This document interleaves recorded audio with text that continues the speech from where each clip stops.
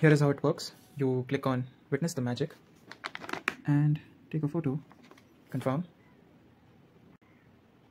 And it gives you the product information and all the ingredients.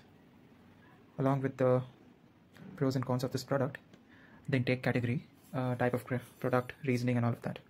So it says here that while the product contains a significant amount of healthy ingredients the presence of refined cotton seeds and potential unhealthy components from cornflours, from corn flakes suggests moderation is necessary. It is recommended to stick to the lower end of the manufacturer's serving size. So yes and you can also visit some ingredients here. Um, let's say you want to check refined cotton oil. And it says here that the category is avoid and unhealthy. You can just fact check it quickly and it will tell you. Cotton seeds can have potential healthy benefits but it's also heavily refined and have some other drawbacks. So yep that's it. Let's say you want to know what this is right so just click on fact check. And it's going to say maybe safe to consume in amounts typically found in food. So yes now you know